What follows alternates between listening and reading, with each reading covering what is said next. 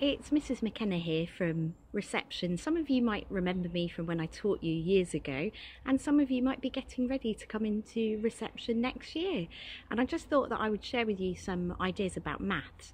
So, recently in reception, we've been looking at halving, and I'm sure that you all know that when you take one whole and you halve it, which I'll do now, being really careful not to hurt myself, you take one whole and create two equal pieces.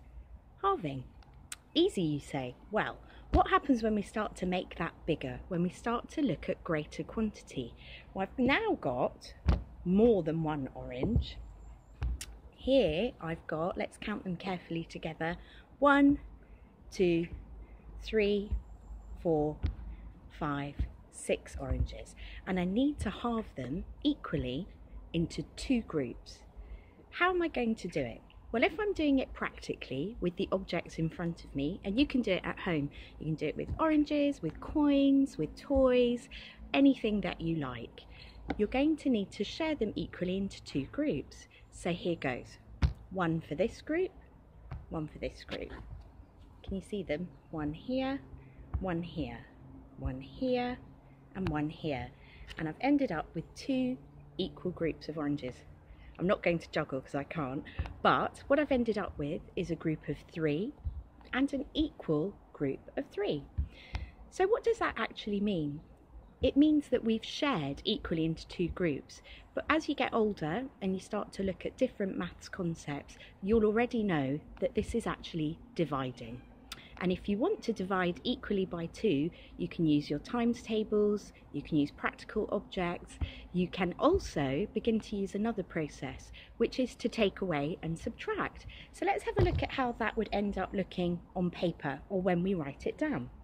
So I've got my whiteboard here, let me see if you can see clearly, and I'm actually going to divide the whiteboard in half because that will create my two groups. And if I take my quantity of six, let's draw them up here. One, two, three, four, five, six oranges, let's say. We're going to actually divide them by jotting. So I'm going to take my first orange and place it into this group and cross it off. I'll take my second orange and cross it off, my third, my fourth, and repeat until you have none left. And we end up when we halve six, we end up with a group of three and a group of three.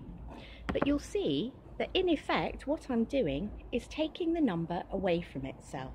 So if I have a group of six and I take away three, I end up with three. Can you see that? So that's another relationship between the two different figures. Or another way to write that down might be to do 6 divided by 2. And that's the inverse of the 2 times table. That's commutative law. 6 divided by 2 equals 3. So see if you can have a go. If you're in the higher key stages, you might want to start to scale up those numbers and have a look at different ways that you can record it.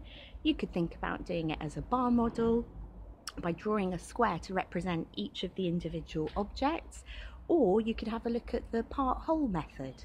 I'll leave it up to you, but enjoy and carry on practicing your numbers and your maths and your different maths processes in everyday life, even while you're learning at home.